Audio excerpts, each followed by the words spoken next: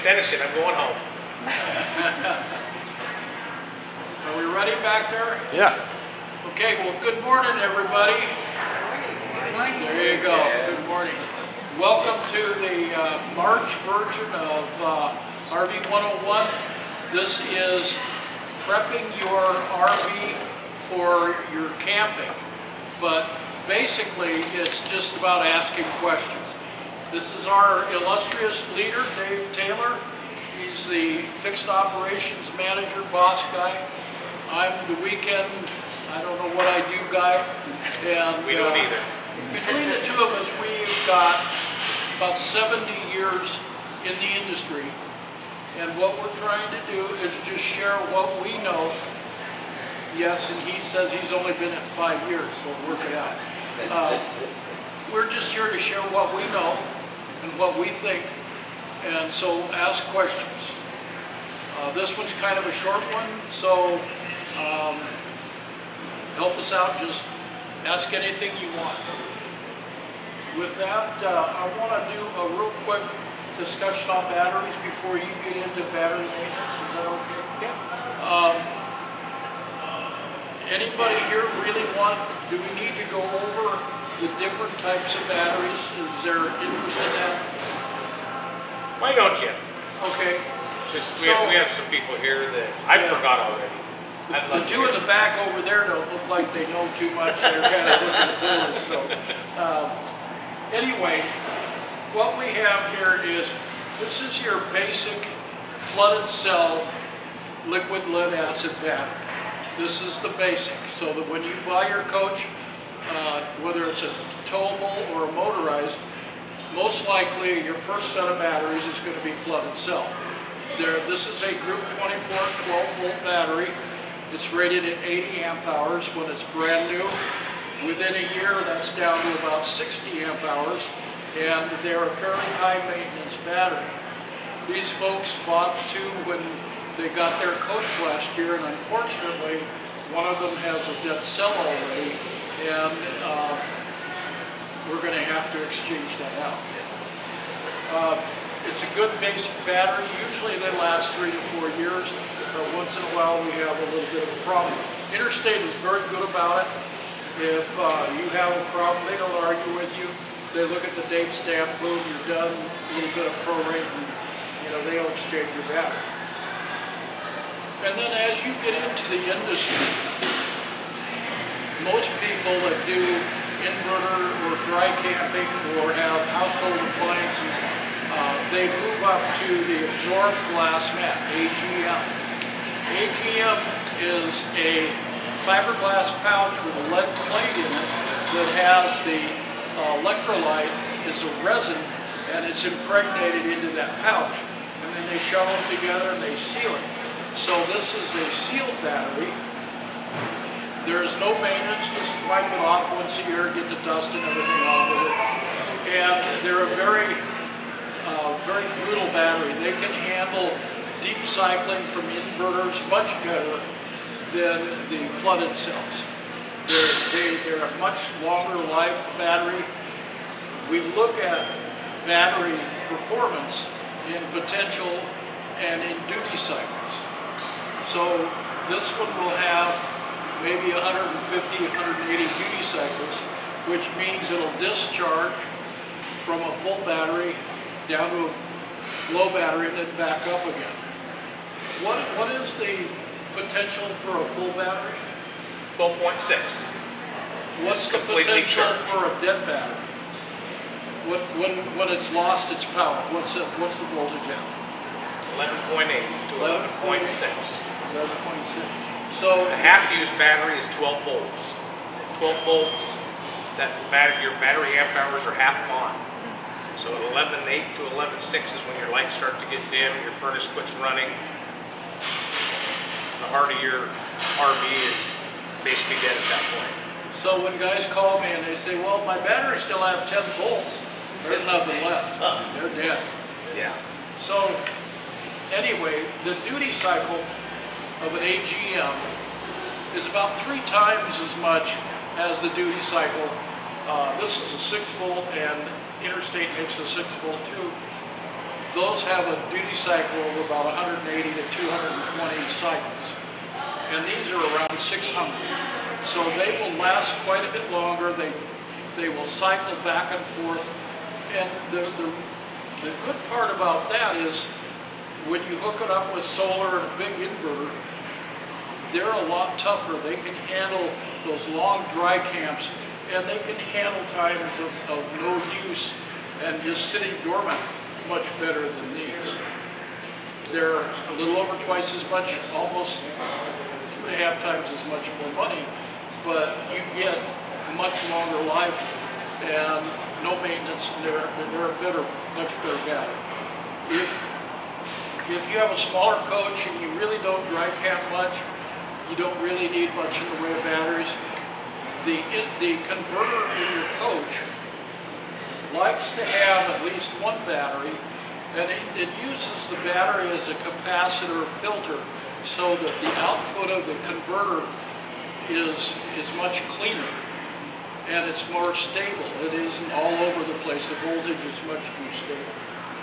So if you do, if you're just a tent trailer or a small trailer, you don't need to dry camp, one battery, one of these is, is more than enough. Just make sure you keep the top clean and keep it full of water. The third battery we have is something that's kind of new on the market, and we were just talking about one of the brands. Uh, this is a lithium ion. Now there's there's several different types. Uh, there's lithium ferrous phosphate, LiFePO4, and and that's a very good kind of battery to have. But if you get in a fire with it, just go get your hot dogs and, and let her rip, because the phosphate you can't put it out with normal fire extinguishers.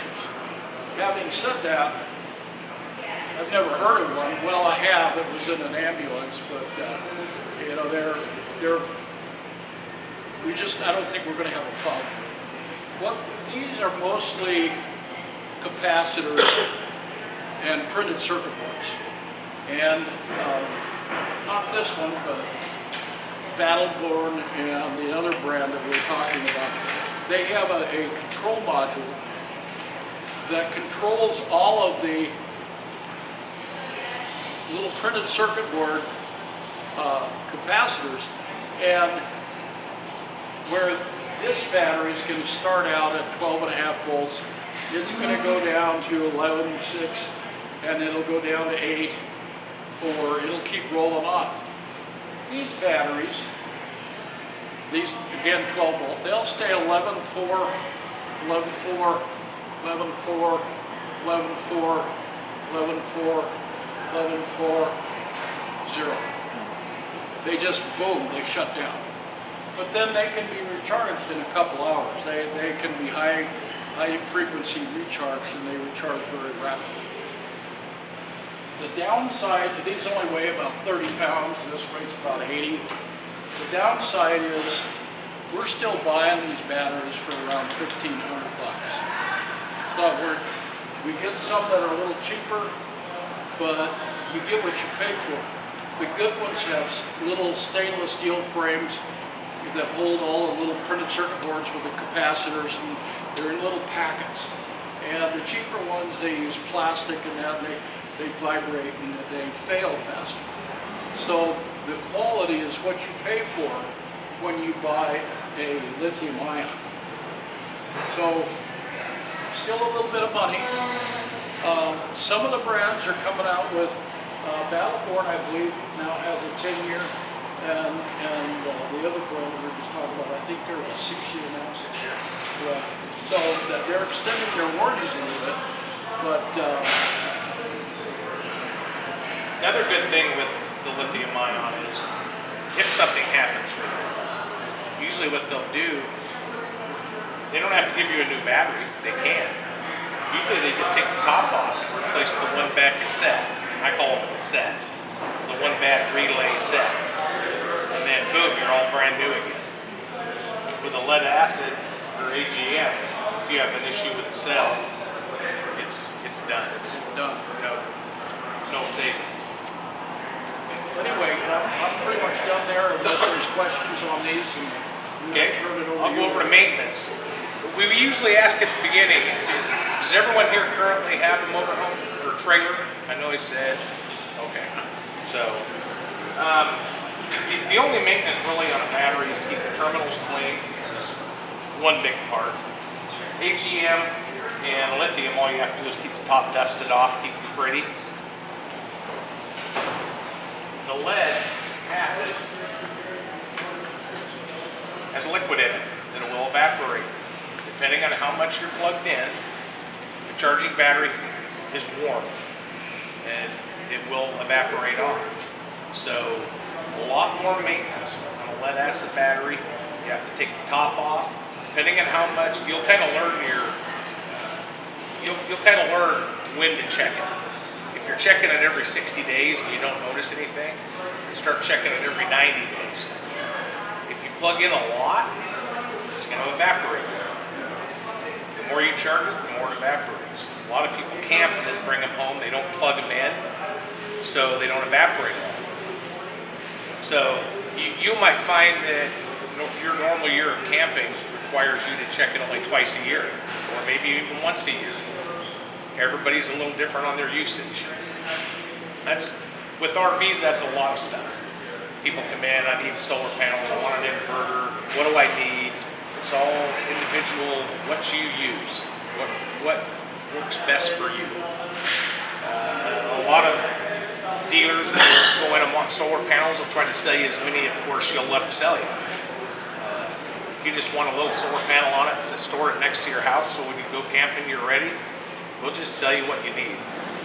We, of course, we would love for you to say you want 15 panels and an inverter and 12 batteries, and, Dan's the guy for that. But realistically, most people can get away with less than what they actually think. So if you ever decide you want anything like that, give it Dan. He's here uh, Monday through, or excuse me, Friday through Monday, most of the time. He took some vacation here recently, so I had, I had to do this by myself last time. and I really missed him. I had nobody to make fun of. Great. So on a lead acid, you're going to have two caps on top. You have six cells, 2.1 volts per cell. So you take a screwdriver, you pop them off, and you will look down inside, and you will see that each cell has a plastic cap that down. You'll be able to see the aluminum plates coming up. You want to make sure that that liquid level is flush with the bottom of those necks. That will give it room to gas, and it'll be above the plate. If you ever look in there, you can see the tops of these plates, and they're dry. You know, growing up, my grandpa, he had two battery chargers and six batteries going, and he was always charging something. I, I realized later, it was, it was a futile attempt to keep a bunch of batteries. Because once they get dry like that, I, I have not seen one come back in to 100%. Half, half to two thirds of the life is instantly gone. The So- battery, when it hits air, it, the, the lead goes to lead, it oxidizes. So Yeah. we have lead oxide, and that's a strong bond. The charge can't break it, so you'd have to scrape the outer layer off, underwater, scuba gear on to get it to come back. Yeah. So, um, and apparently you had a battery go better. They replaced it, the one or the two? No, uh, it's, it has yet to be replaced. I mean, I was going once a month to check it during winter months. It's plugged in. I go out there and it's bone dry on one side. He's got one cell right here. Bone dry, so I fill it with distilled water every month and, and it's still sucking it. I'm thinking, That's because that cell's getting warm, warmer. so What happens is when you get a warm, when you get a dry cell, your converter notices, your converter actually thinks you have bad batteries, which you do, but it thinks it's worse than it is. So it's, it's sending all of its charge to these, this one cell that's really bad. So this battery will actually start to get warmer Yeah. and evaporate even faster. So unfortunately, there, there are other dealers also that will say, if you have two batteries, just replace that battery. Truthfully, you need to replace both. Just like taking a, the old D-cell mag lights and having forced batteries in there and having it start to go dim and only taking two batteries out and putting two fresh ones in. Yeah, it'll be a little brighter. It's gonna kill the new batteries a lot faster. Okay. So we always tell people, we, we hate to spend your money, but if you put a new battery on, even though your other battery is only theoretically a year old, that battery has, has lost life to it. And when you plug that new battery in and the old battery hook up that converter, that converter is automatically going to read the older of the two batteries and start throwing a heavier charge into it we wire them so they charge together, but it will, so what'll happen is then that battery you didn't replace will go bad really fast. And then you brought down your new battery, so you start playing this cycle. So the best thing to do is always go new and just maintenance, maintenance. I was kidding with the technician when I went to go get that cream and sugar. We have one in there today.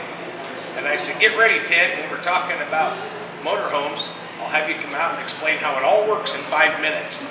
And he looked at me and said, well, I can do that quicker. Batteries. And I thought, he's right. If you have batteries, you have nothing. If you don't have batteries, you have nothing. So that is your main thing. Everything's driven by battery. Any more questions about batteries? I had a question, or Dan, you didn't say how much the uh, AGM was. What, how much did the AGM cost? Four seventy-five installed for the It's been six volt. nine months since we did this, so. So, um, And the warranty on the AGMs? I'm sorry? Warranty on the AGMs? He already went over that, but since you were late, we'll let you. You know, it's, it's kind of a complicated thing. Hold up these fingers. Okay? The, uh. The AGM usually from Interstate's one year. If you bring it in to us, and you're having issues within one year, usually they will swap it out. That is through us. If it's over a year, there's really not, they, especially if it's an RV battery and they know it's had a pretty rough life, they usually don't do any swapping for, you know, 50% off or anything. So your first year, if you're having an issue, I don't know if you know this, but we buy a bunch of batteries. A bunch. Like there's pallets that show up every week. So due to that, Interstate treats us really well. So they don't even question. If we say we have a customer with a bad battery, they just swap it out warranty with us. Great company. They would prorate our 2017. No, Well, that, that's up to those guys. I, I, we don't do that. they're not gonna throw They'll, they usually, with RV battery, they're, if, if it's within 12 months, yeah, after that, they usually know that they're, yeah. I don't wanna lie to you, I don't wanna tell you they will, because Oh, I don't mind. I just didn't. So, uh, for, this is Dan's last seminar, so so, um, we're gonna move on into your exterior. oh, I forgot something. Oh, sorry. It's all right. I was just saying, we haven't done this one for what, A year. a year? Yeah. So I had to look down and see what, best thing you can buy for checking your lead acid batteries. Looks like, make sure when you go in, it's for acid, not antifreeze, because they look about the same. Huh? Or a turkey baster. Yeah. It's not, don't get it confused. On a lead acid battery, battery, you want to keep the cells all the same charge. That's how you can tell if you start having a bad cell. When you're taking the top off to fill it, with it fully charged, just go like you're gonna tur- put gravy on the turkey. Get your what? Get your battery foot up in here, and you want to be up in the green. And you want them all to be relatively close on the gauge here. If you have all of them that are in green and one's in the blue, that cell's on its way out. If they're all in the green and one's in the red, battery's done. So you, you can smudge it a little.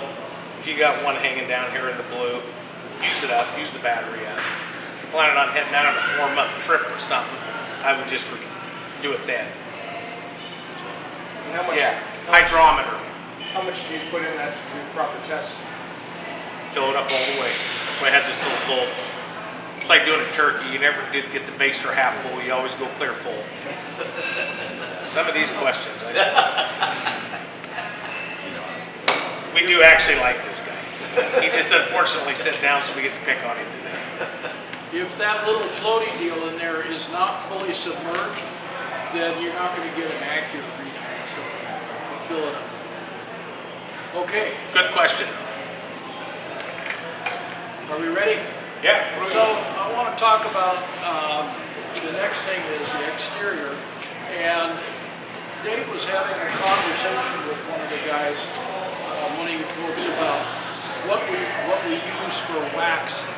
And uh, we're both old school. And I was thinking we probably should get the body shop manager down here one of these uh, Saturdays and have him talk about it. But uh, the whole theory of waxing a trailer is if you look at fiberglass, it has little pores in it.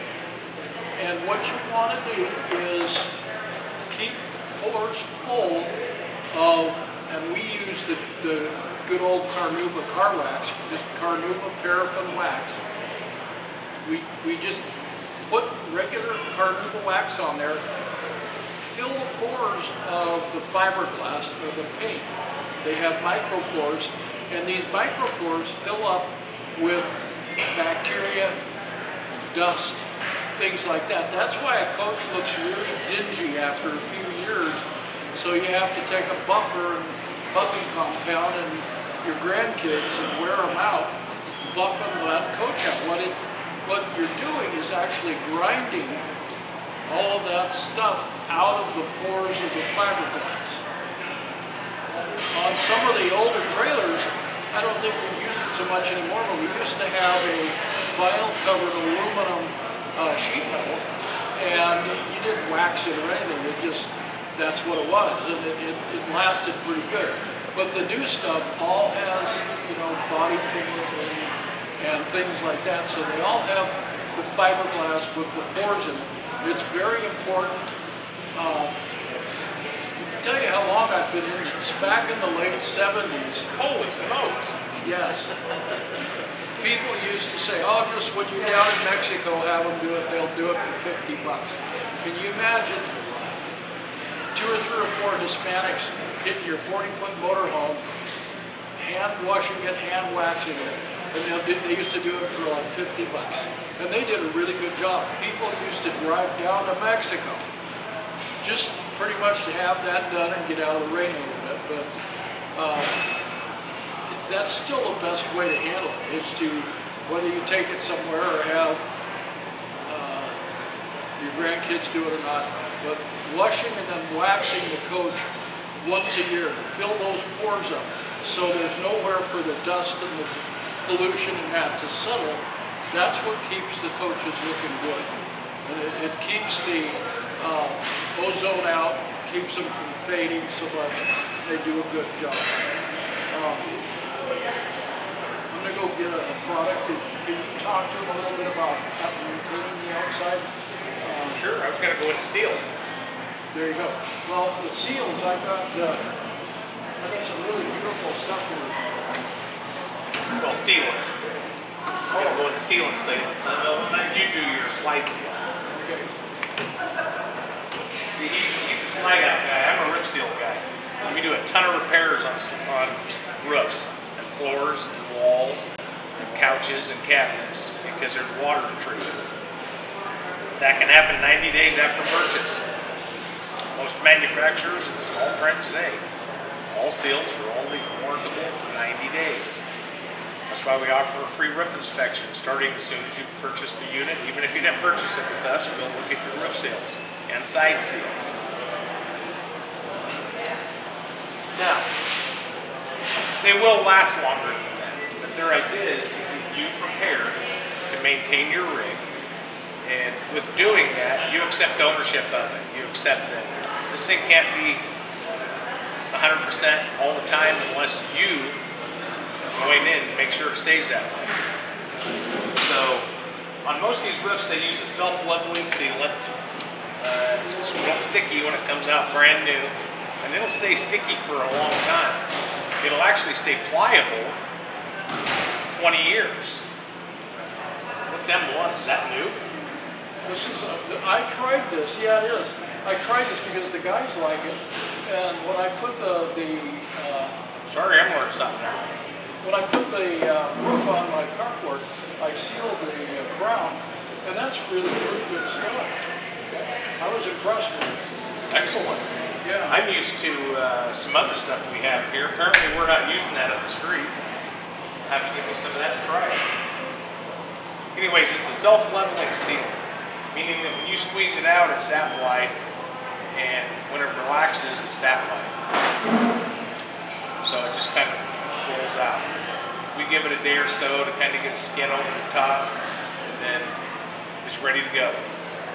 What happens is after nine months to a year and a half to two years, depending on where you live, this roof vent right here, it's in your roof. I just use it because everybody can usually, if you get up there and look straight down, that's what it looks like. You have a screw hole all the way around that, but it was four inches, four to six inches. They stick that very big hole in the ceiling and then they, manufacturers, they don't have to use tubes like us. They have these big 55 gallon drums of it with a machine where they just never run out. They squirt it all along this edge, around these. Usually what they'll do is squirt it around the edge and then kind of around these screw holes like that. And then it blurps out over here. It's all sealed. So what happens is with the weather, traction, expansion, it will move back and forth. You're driving it across roller tracks and roof's moving, everything moves in an RV. What happens is you'll start getting a crack in the sealant, real faint.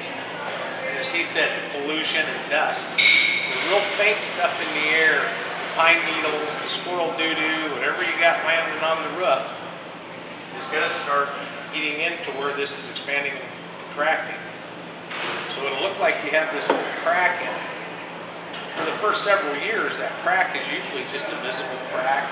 It's not very deep. So usually after a couple years, two to three years, depending if you keep it in a shop or not, where you go, do you go down to the sun, do you stay up here? We'll have you come in and we'll take pictures we'll say, you know, you got some little cracking. We should probably do some overlay. We'll take an overlay, which is basically the same thing they put on the roof.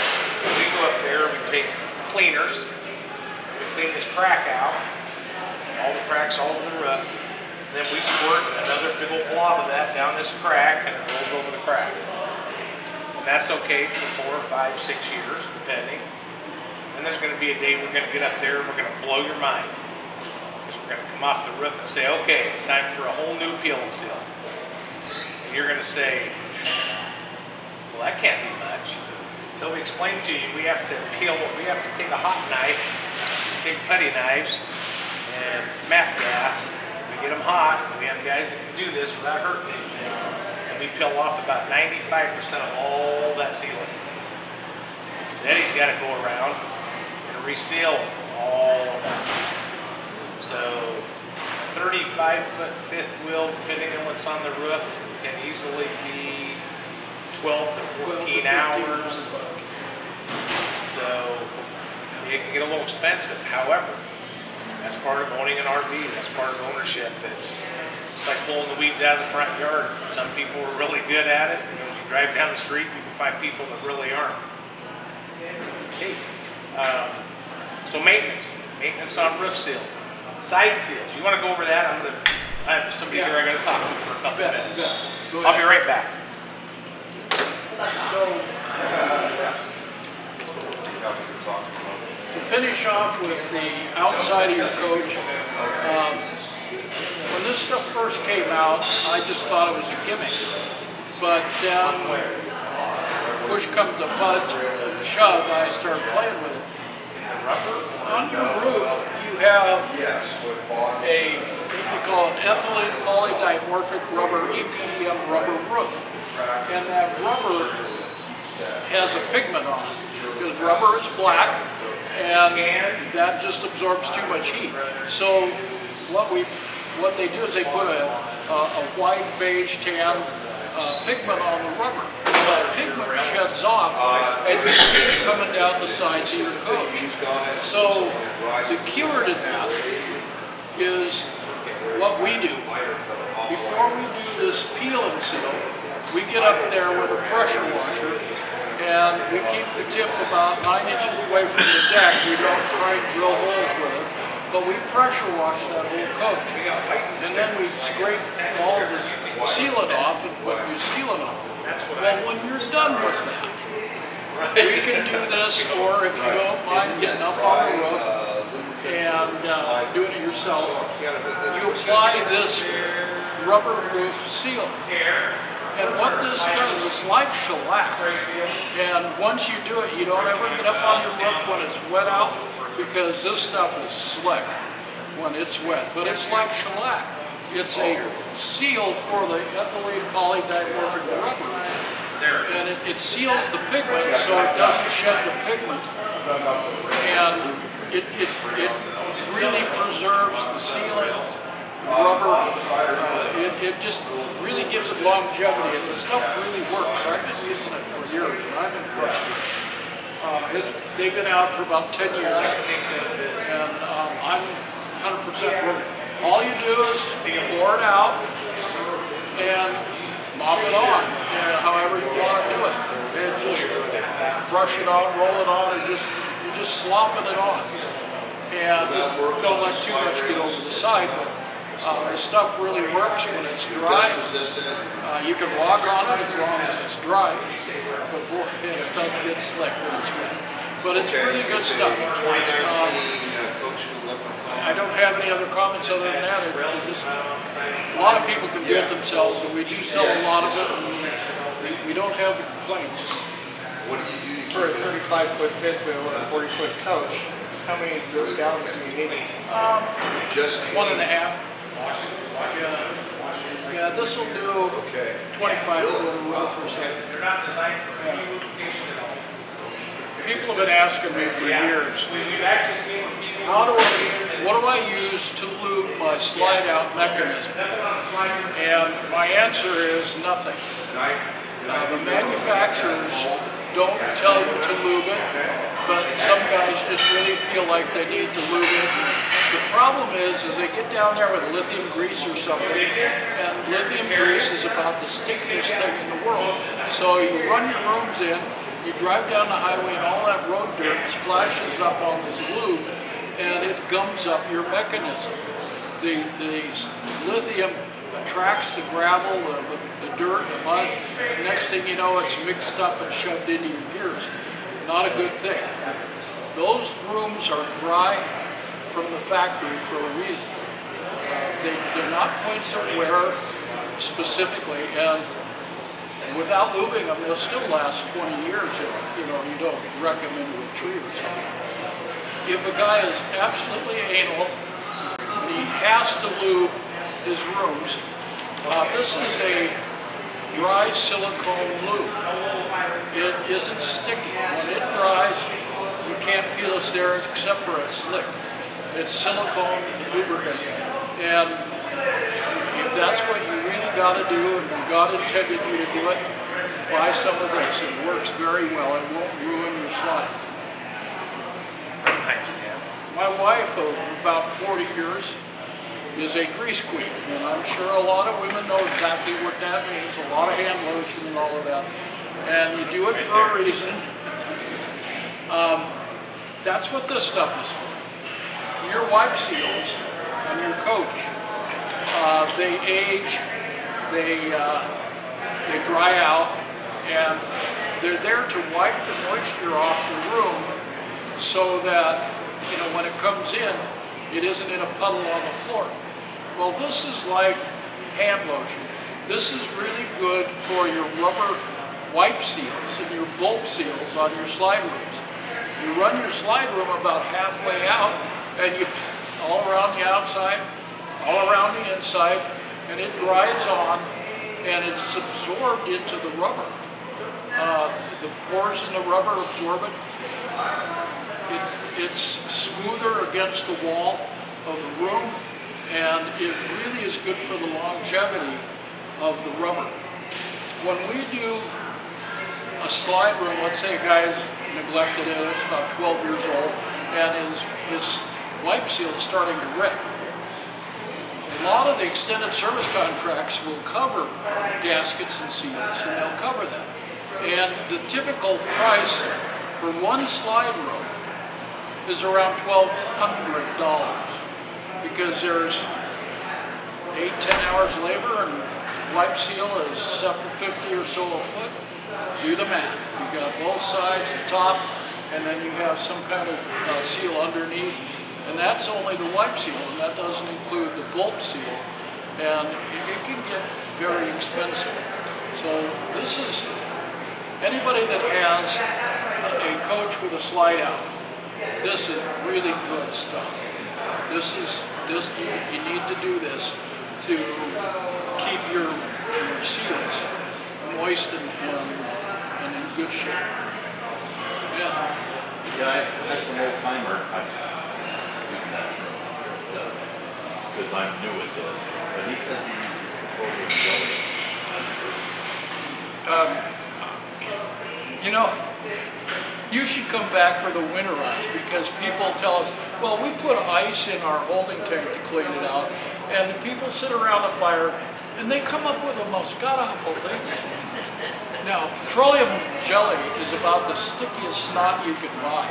So yeah, let's put that greasy crap on the side of our beautiful coach so that it collects all the dirt. Am I done? No, I still lives in it, so. Hey, you're a tough Yeah. Irishman, you can handle it. I'm just Don't curious. Yeah, there's better products. When you're new, you're susceptible, you know. Yeah. Well, Plus, that's why I'm depending on- standing here holding this in front of you, shaking it at you. Plus, uh, depending on the year of the unit, they're better now with the rubber on the seals. But years ago, people used to come in and they'd say, what happened to my seals?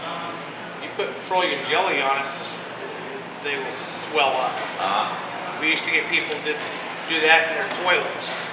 Petroleum jelly just sucks right into it and your toilet seal's gone.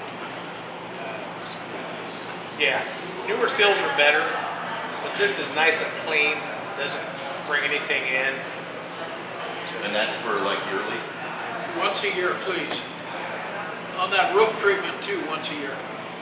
Young lady Yes, how can we help you? That's what I wondered, how often you should Yeah, use. Once a year. once a year. Is there anything you want to talk about about the exterior and all? No, I kind of went over my big thing, which is seals. And you went over slide seals. One last thing. This stuff's been around forever. It's not toothpaste, but he goes out camping, 20 minutes after he's all done, he's got this out of his toolbox, and he's going around his windows and his tail lights and, and his compartment doors, and it just, it's like toothpaste, but it's clear. And there's a seal around it. Just go around and touch it up. If you see any cracks, it's a good thing to cover your little side cracks. You can do it yourself. That's for around the windows? Yeah, if you if you're noticing around your bay doors or windows or plug-in receptacle or anything you have coming out the side that starts to get a little dirty crack around it, you can clean it off with a toothbrush and a little cleaner and just apply a little more. That will definitely lengthen the life of your seals until you get to a point where you come in and we blow your mind and say it's going to be 20 hours to seal all the sides. You get a discount if you use it at Easter? What's that? Use it at Easter, you get a discount? Why is that? It's an Easter seal. Oh. That's a good one. I'm going to use that. I don't know. Used to have one of those walking sticks, and I broke it over a guy's head because the guy was using silicone, like you do around your tub or something, on the side of his coach. And we, we don't use silicone in this industry, except for maybe to seal around the shower, I think. That's the only time we use it. And the reason is twofold. Number one, silicone is polar. So if you have two pieces of metal, let's say you have an aluminum frame and your window frame is aluminum, or the, the light bezel is aluminum, aluminum will molecularly bond to the one surface and repel itself from the other surface. And it may, may, it may look just beautiful, but on the one side, it is absolutely offended and it will not contact at it. And the water just wicked in underneath. And then you have hell to play uh, just to peel all of that off. So um, that's what this is for. It's a good solvent. It won't react with any of the materials and it'll actually break that down and remove it. What we use are specific chemicals that are designed for our industry.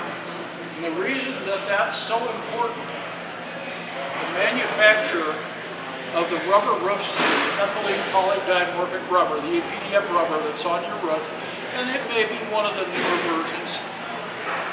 There is a chemical in here, it's called a carrier solvent, and this carrier solvent keeps this stuff liquid. Once you caulk it out, then the carrier solvent is used to etch into the material you're sealing, and then it evaporates. And if you go down to Jerry's and you, you buy some good DAP sealer that's on sale for $2.97 instead of $12, you caulk that out on your roof, your rubber is going to turn to cottage cheese because the carrier solvent in that DAP sealer that's intended for wood and masonry is going to eat that rubber. So as much as we love Jerry's and we spend a lot of money there, um, that's not the place to get stuff for your RV. All of these RV chemicals that we have are specifically designed for the kind of materials that we use on the RVs. So these do not react with the, the, the wall, the roofing, any of the materials. Had coaches, and, and to replace a rubber roof that somebody's trying to fix it, he goes and buys some snow seal at Jerry's or Home Depot or something. A roof can cost anywhere from six to twelve thousand dollars to take it apart, put a new rubber membrane on. They're a lot of money. So spending twelve bucks a tube on this isn't so bad anymore. That's why we use it. Anything else on that? Any comments? I was amazed. You have not lost it, I'll tell you what, it's still there. Yeah, maybe here. I was got, gonna I got let you three cracked ribs, so I'm not moving too fast. I was gonna have you do your own chassis dance, No. and then I get to go into uh, water systems, because that's my favorite. You wanna go over chassis at all? Your tires? Yeah, I'll do that, I'll do that. Okay. So, water systems, maintaining them, getting them ready. The most important thing you can do is clean your water system. It's a sealed system, so it gets, believe it or not, it's humid inside of a water tank, even if there's no water in it. You think there's no water in it. When they build a tank, they have high-speed spin fittings, they call them. They spin up into these poly tanks. So even if you drain all the water out of your fresh tank, there's a lip in there from that high-speed fitting. It's about a quarter of an inch high. There's water sitting in there. You always want to put your cap back on you're done draining it. But if that sits there four or five months in the winter, it's humid in there. The stuff can start growing. So the best thing you can do beginning of the year is to seal your system up, get it ready to go. Put in about a half cup to a cup of bleach in your water system. Then fill it up with fresh water. Your water pump on and let it pump through everything. The water heater, the shower, the toilet, through air-free hose pipe in there. That's going to kill off anything you have going. We have seen tanks come out of Florida and Texas, come up here, and people say, I got this green slime running out my faucet. And the tank is so bad, we just basically replace the tank. Because they've, they've been at a park for six months down in Florida, plugged into water. They didn't need to use their freshwater tank. Had a little water in it. And I've heard stories where they've left the tank drains off and they're, they've actually found the little guppy, you know, frogs, what we used to call them as a kid, you know, yeah, in tanks. So you want to get that bleach in there to kill everything off. Then when you're done with that, you're going to dump it all out. You're going to do just like you're going to do a winterize. Open your low points, your tank drain, open everything up top, let it drain out. Then you're going to take a little, how much vinegar? He likes vinegar, I like baking soda. How much vinegar do you put in? The same amount as I use. Okay, half cup to a cup of, of vinegar. And fill your tank back up and run that vinegar through. Some people don't do that. I do baking soda. It does not cut the smell of the chlorine. Vinegar cuts the smell of the chlorine, but then when you're taking a shower, you start dreaming of pickles. So that's our only battle on. They both work. Just depends on. So take, keep your tanks clean. When you're doing that, your water heater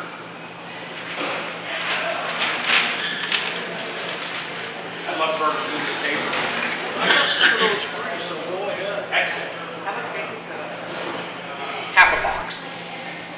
It's cheap. You, and you can't really have too much. So half a box and then throw the rest in the freezer. A water heater. What are you talking about in the freezer, is get an old sock, perfectly one that's clean and no holes in it, and, and either put coffee or baking soda in it, and tie a knot, throw it in the freezer, and it'll absorb all the odor. That's what he's talking about. Okay. So your water heater is round. This is looking at the outside of your water heater. You're gonna, it's gonna have a square door. You're gonna open it, it's gonna look square. Behind there is a cylinder, from six gallons to 12 gallons. Out here, there's going to be, it's not a bad looking plug. No, it isn't. There's gonna be a plug. Believe it or not, all the water that goes into the top side of this water heater, there's, there's cold in and hot out. All the water that goes in that has any impurities, hard water, calcium, iron, whatever, whatever, yeah. The further you go south, the worse it gets. It starts to accumulate in the bottom of this. And it will, over time, fill this up. We've actually, so you're gonna wanna pull this plug while you're doing that once a year. It's a tank saver, hooks to your garden hose, has a little on and off on it, or you can, if you're industrious, mine is, I was a technician for years, so mine's all fancy stainless hose, and, you know, it's cool. I had to have the coolest one in the shop, until somebody built one cooler. So you're gonna take this, take it where you took that plug out, you're gonna run it in there and turn it on and start washing your tank out. What you'll notice is tons of white congealed goo and gook come out of your hot water heater. Believe it or not, it happens in houses too. That's why most houses have a drain on the bottom. It's not just for when it goes bad and you want to replace it. Soon as I got in this industry, every year I hook a garden hose to my water heater and give it drain out about 10 or 15 gallons. So we've had these fill up so bad that when we pulled the plug out, no water came out. And we've had to take a screwdriver and a hammer and bust through this. Usually we'll try to talk a person into buying a new one because at that point, all this down in here, I don't know if any of you had a grandmother, you went to her house when you was a kid and took a shower and they a well that smelled a little sulfury. When you start getting that on your hot water side, it's because this is contam it's not so much contaminated because you killed it with bleach, but it is just a stinky, it's, it's not good. The best way to fight that is just start right from the beginning. Get in there and get it washed out. Another thing is anode rods. Some have anode rods, some don't. Most of them, most of them you can put an anode rod in now. Some don't require them because they're not an aluminum tank. Some are actually filled with uh, What's the toilet made out of? Well, the Suburbans are steel with a Porcelain. glass Yes. line. Most of them have a glass line that's like a porcelain line. And they don't wear out as much. They still collect contaminants, but they don't, nothing will eat into them. This is just like on a boat or a ship. Anything you don't want water to eat into and etch, you put this in your water heater. It eats this away instead of the water heater. Well, when it eats this away, it drops into the bottom of the water heater. So it's not bad for you to drink or cook with or take a shower with. It just adds more contaminants. However, it saves the tank. Does that make sense? You got this, Ashley? Okay. Um, any questions on tanks, black tanks, fresh tanks, gray tanks? Hot water tank, how does the, uh, gas burner? Well, they take that cylinder, they drill a hole in it, and put an aluminum tube through it, and then they weld that in. And it's right back over here.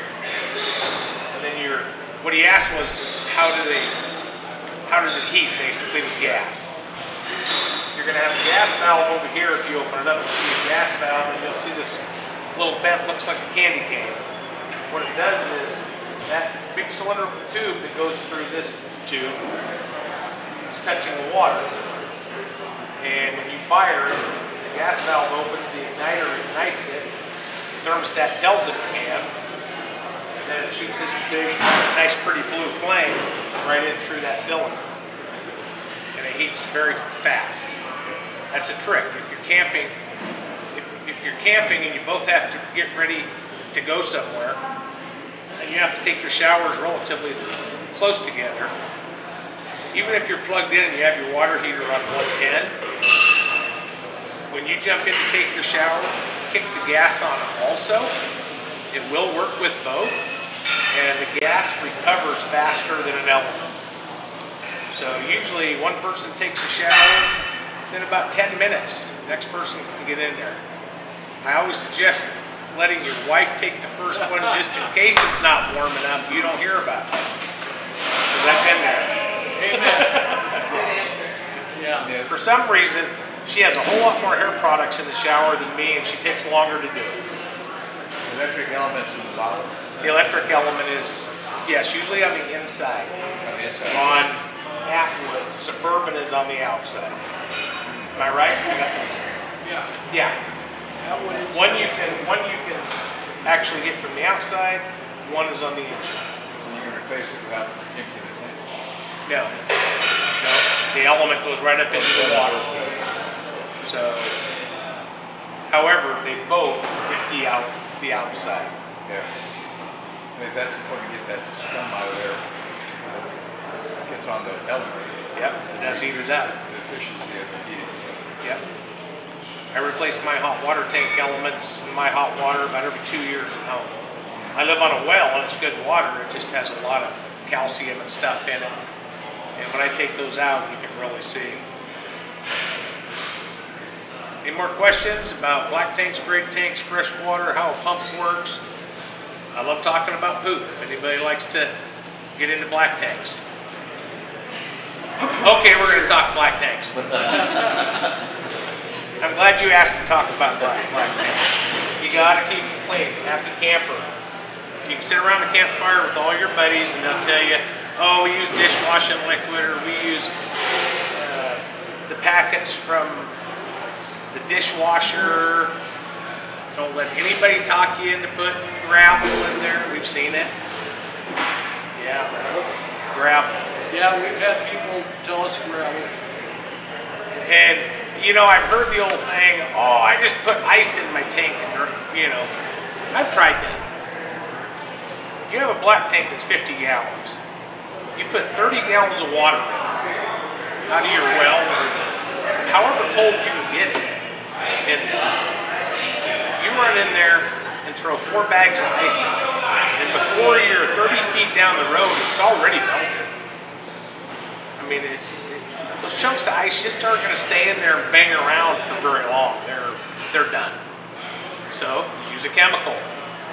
An American-made chemical, not a Chinese chemical that may not be as good for the environment.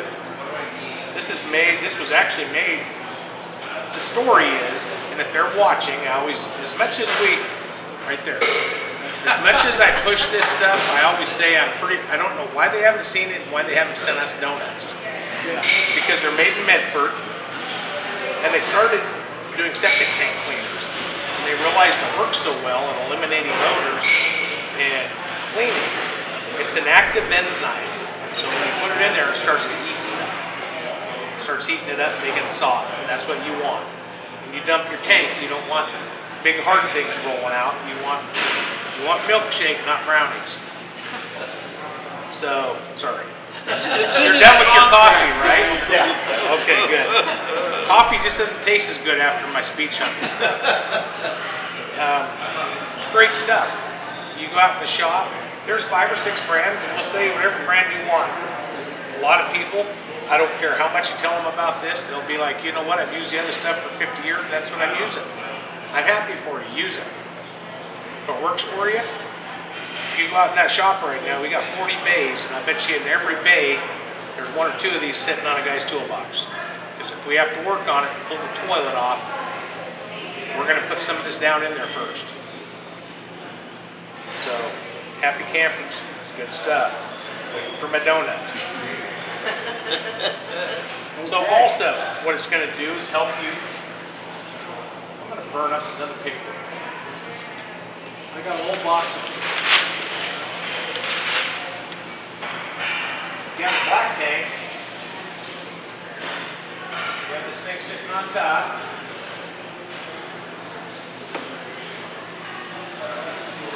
You have your dump down here, the little T-handle comes out. While you're using this, or you're camping with the black tank, if you go for two days, you've only put this much waste in it. The last thing you want to do is go home or go to a dump and pull that handle because you have no volume here. So what happens is about this much of it rolls out and this just kind of stays up here. Your liquid rolls out and most of your solid stays inside. So take that morning before you go, stand there at the toilet, look down the hole, put your foot on the feed, fill it till it gets up in here. I fill mine till I can hear it. I can hear mine start to gurgle down here in neck. What that does is that gives you plenty of volume, a lot of clean water. So then, I went camping with my friend Steve. We started camping for Steve Oberlin four or five years ago. And he's been in the industry forever, but he was in production. So he knew how to install them, never how to maintain them. Well, he pulled out behind us. I have a fifth wheel. He has a fifth wheel. A big, I have a big fifth wheel. Because my wife has a lot of hair products. Um,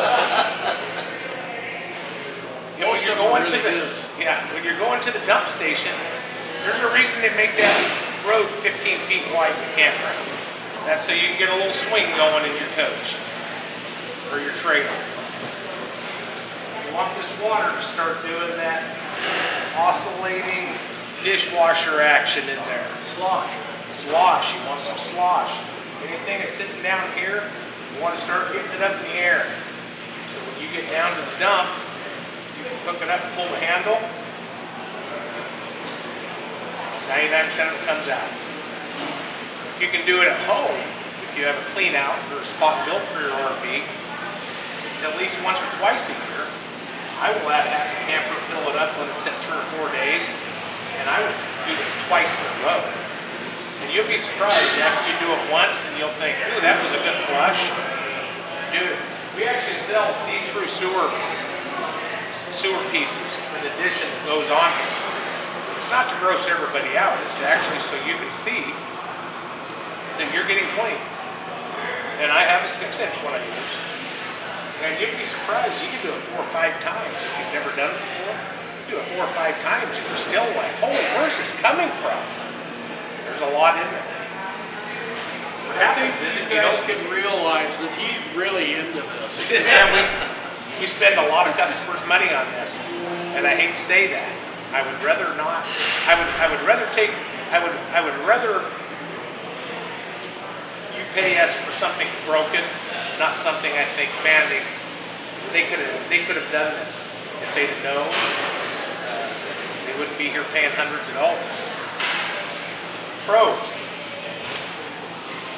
Getting more and more digital now. A lot of digital probes on the sides of tanks. Even with them, if you get a buildup inside, they work off resistance. They shoot this imaginary laser beam through that tank, and when they see something there, it turns a light on inside.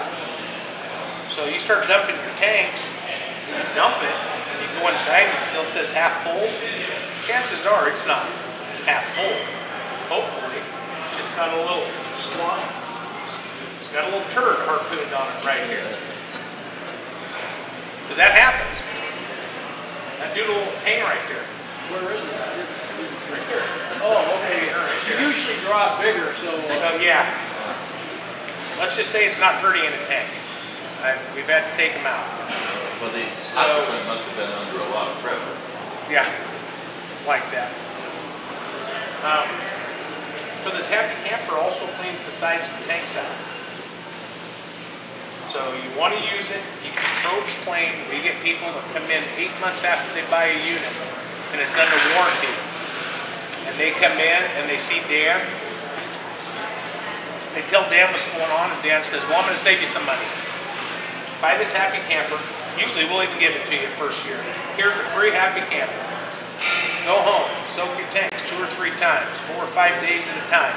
Start using this every time, and within the next two or three months you go camping, you'll be reading empty again. People can't believe that. They know they bought a unit, still under warranty, and by golly, Dan better fix it. So then Dan says, okay, well, you sign this piece of paper, it's terms of service. And on that terms of service, it says, if we repair anything that's not deemed warranty from the manufacturer, guess who gets to pay? You do. So then Dan sends it out in the shop, and the first thing the technician does is load that baby full of that, stands there, fills it up, has the forklift driver come around, grab it, has him rock it back and forth for about three or four minutes, and he dumps it. Still reads half full. So he does that again, then he goes to break, then he comes back and fixes another guy's stuff, then he comes back and he has to look at it, fill it back up, shake it again, and it goes to empty. There's nothing we can tell the warranty company except there was turd on the probe here. So what happens is then you show up and Dan says, took us two hours to do all this mankanka and about $260 you want to pay with a check or your credit card. Then all of a sudden they're not happy with Dan anymore. So you've been there. Oh, really? So you have to remember that maintenance is not something warranty covers. It's something we go over a lot. We still have people that out of warranty that still think that probes should be warranty. It's not that we're mean, but we can't can't take care of your menu. You know, sometimes you have to own it. And very very few times I have not seen that work. So, for instance, I bought a used uh, Montana. It was a 2008. Great unit back in 2008. I bought it in 2016. 2016 the black tank, red full all the time, all the time. And I started working on it. We lived in it for about a year and a half in between houses. And I got it down to where it was reading a half. And I never could get it to go any lower. So it, however, it worked for me. Because when you're looking at that button, who cares if it's a third full? Who cares if it's a half full? It's that three quarter and full marks where you want to know where you're at.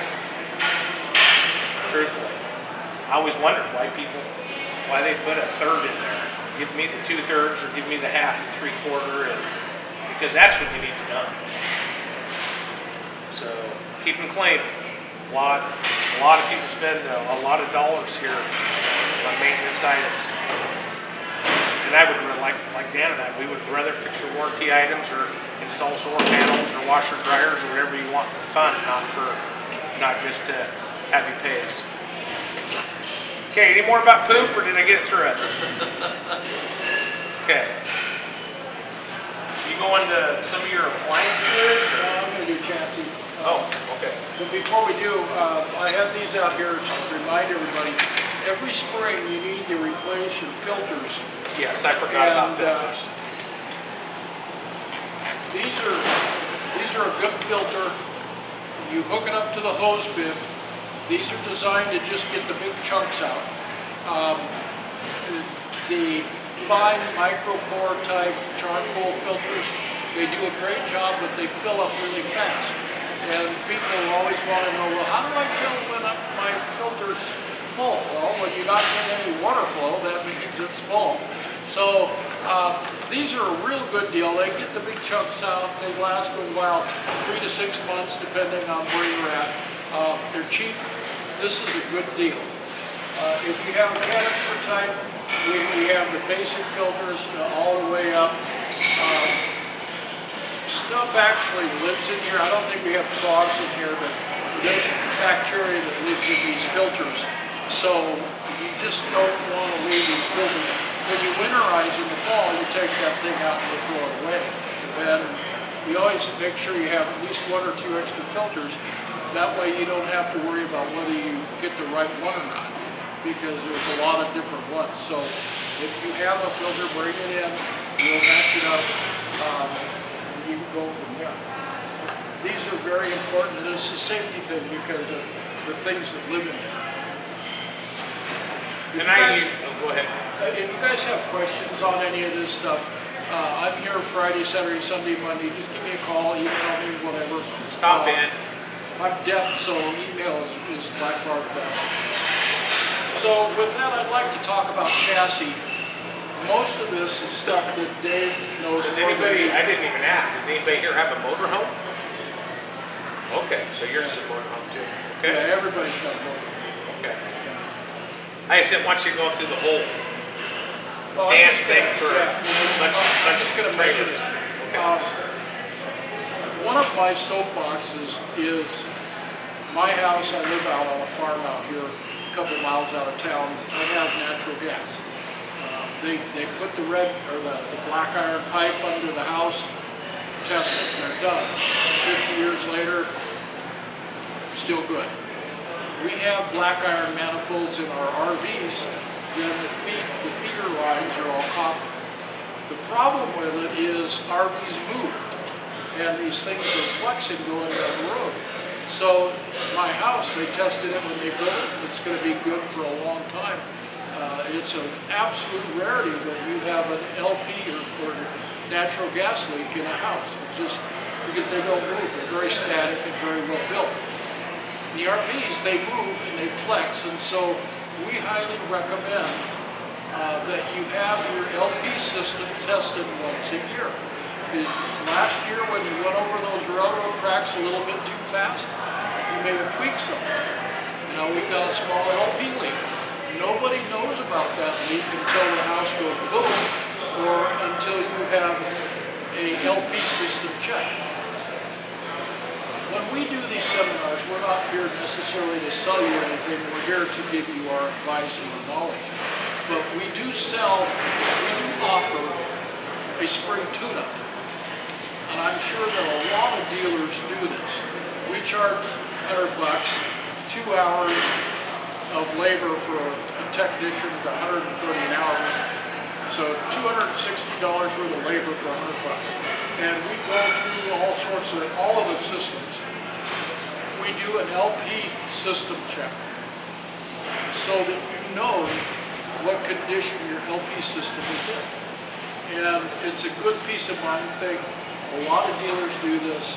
You have a test, it's called a drop-down test, to make sure that the system will hold pressure. And then another thing that we do that a lot of people don't do is we have a dynamic flow test. So let's say that you had a great summer, but you didn't really use your RV much, and then you go winter camping, you've got the water heater on, you've got the furnace on, you've got two stoves going, and everything's just not staying lit. That's because of higher flow rates on the propane, sometimes the regulators fail. And so a, a secondary test that will test to see whether your regulator can carry a specific load. Uh, Usually we will run uh, two burners, a water heater, and a refrigerator in the furnace just to see what a maximum flow rate would be regulator. And these are important things to do, especially the safety of the, the, the leak down test. Uh, we, we do a lot of different things on those uh, spring tune-ups, but a lot of dealers do it, and I highly recommend doing it. Having said that, uh, one of the, our main topic here on chassis is annual service for your, your towed vehicle or your motorhome. Now, on a towed vehicle, you to do a uh, bearing pack once a year, bearing pack once a year, and those are how much? or every two, every two years, depending on how much you use it. The, it's ninety-eight dollars an axle, and usually the price of the seals, so usually two hundred thirty to two hundred forty bucks. So what we're, and I know nobody here, but there's a lot of people that watch this. What we look for when we do a bearing pack on a towable is this trailer's sitting there and the wind is blowing it back and forth. And it may have sat there for four years and not moved. So you figure, well, everything's fine. But what's happening is those little rollers in those bearings are rubbing against the races. And you get from sitting in the wind and walking around in it, you get grooves in the bearing. Not so much on a motorhome, uh, but definitely a, an issue in a towable. So a bearing pack, just like a propane system check, a bearing pack, one of the things we do is we check the races for grooves. And if there's chips and grooves or pitting, out they go. And that way you're not failing on the side of the highway. On a motorized, uh, people say, well, I want my front bearings pack. Well, on a motorhome, they have uh, oil-filled bearings and they're sealed.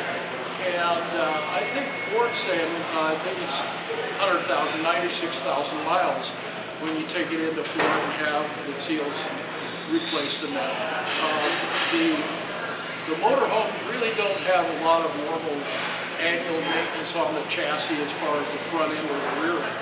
What, one of the things I used to do a lot of performance type sales, uh, banks, exhaust, exhaust brakes, satellite systems, solar panels, inverters, suspension stuff.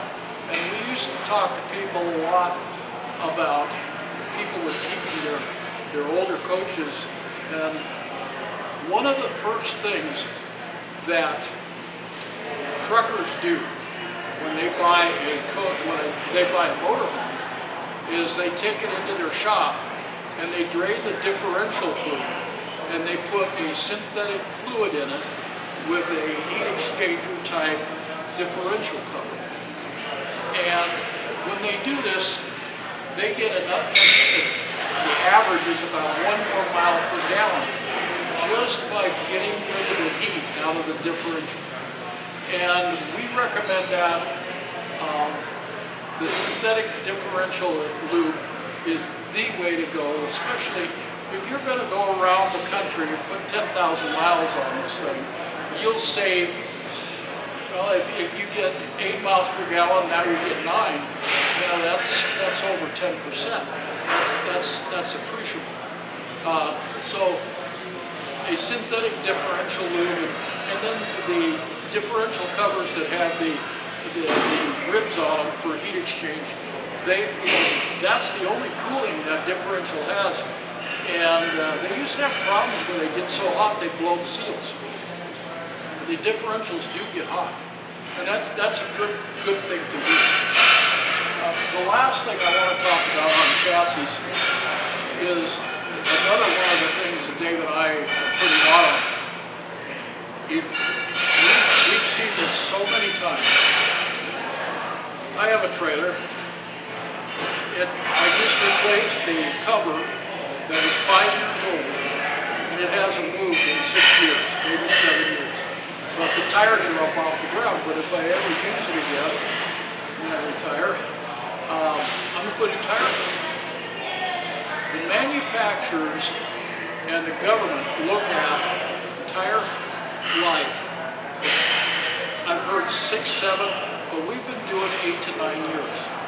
If you buy a used coach and say it's a 2009, and the salesman's real slick and he says, yeah, look how good those tires are. Those tires are 13 years old. Those are illegal safety hazard tires. Tires only are intended to last eight or nine years. The, they, they follow the semi trucks really close, but semis, they'll go 200, 300,000 miles a year. So they'd go through a set of tires every three to six months.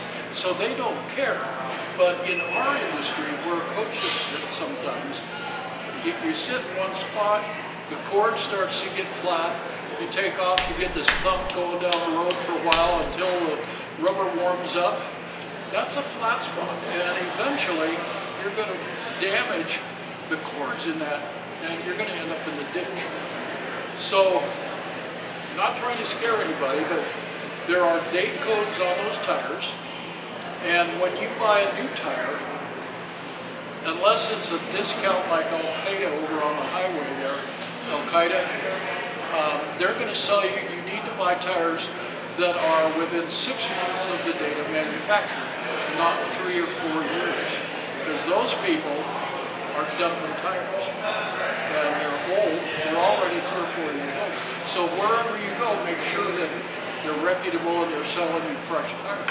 But also, if the, if the coach is set for two more years, we, we see this all the time.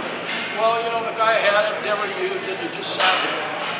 All the way from that guy's house to his house, he had three blowouts.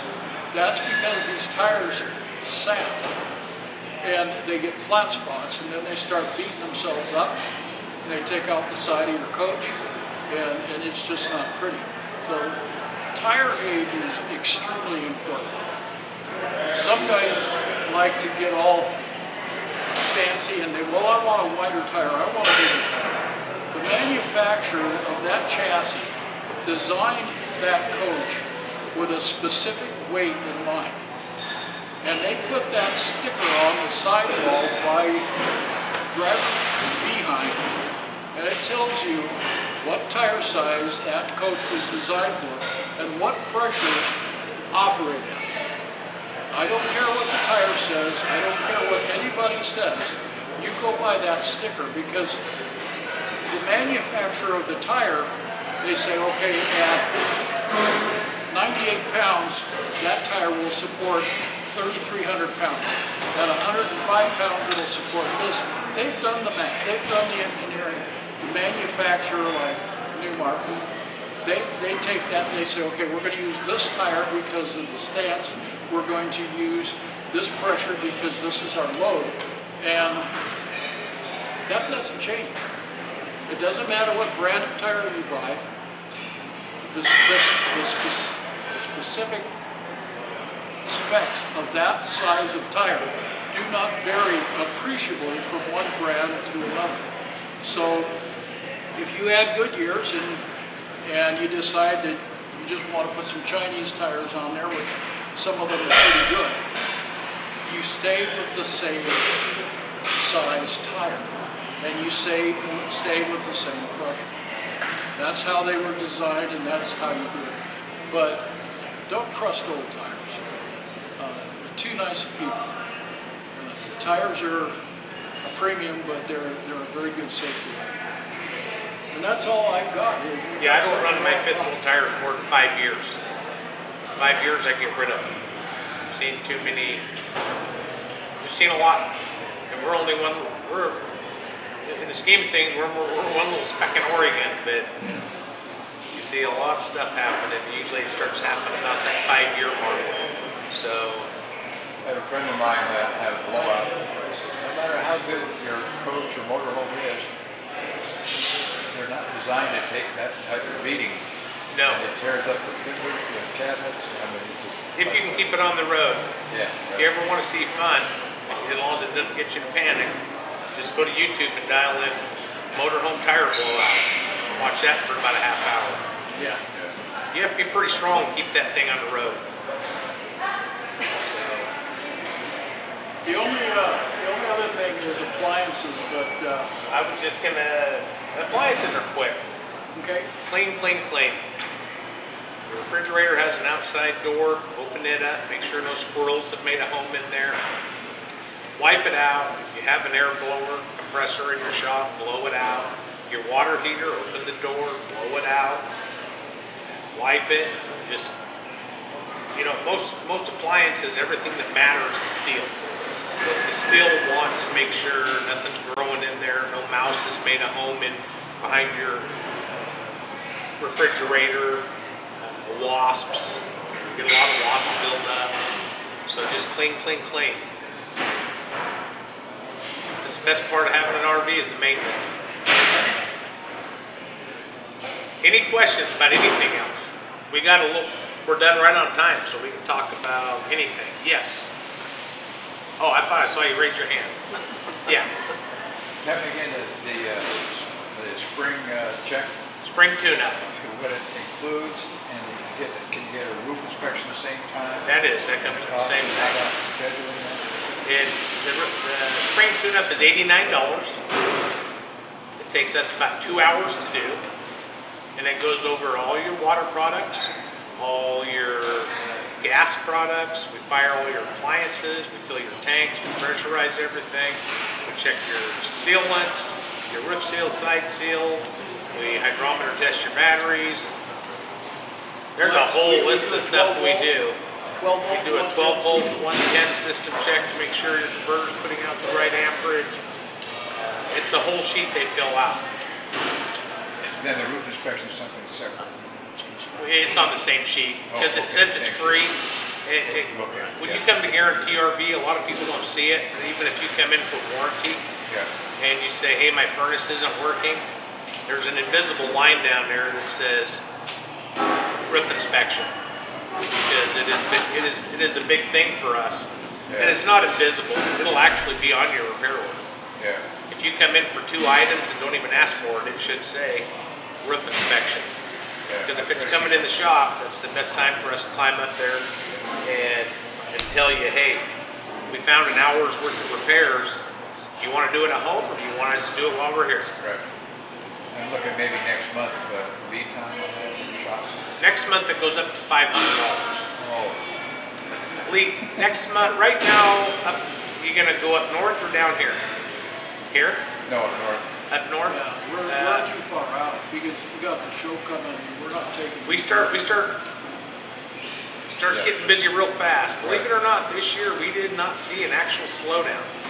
Last year, February, first part of March was a little slow. This year, we've been a week to a week and a half out. Right now, we're about a week and a half north. By the end of March, we can be two to two and a half weeks out. Yeah, okay. Even with this, uh, deer virus, uh, Yeah. we haven't slowed down. No, but we have guarantees, thank you Guaranty. They have taken our detail crews, usually details motorhomes, trailers, fifth wheels, and turned them into rolling. They're going through every department, doing door handles. These seats were all wiped down before we put them here. They have turned into,